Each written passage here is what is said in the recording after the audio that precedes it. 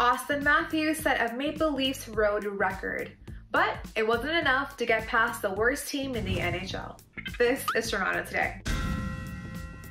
If you bet the Maple Leafs money line last night at minus 300, congratulations. You're the latest victim of a trap game.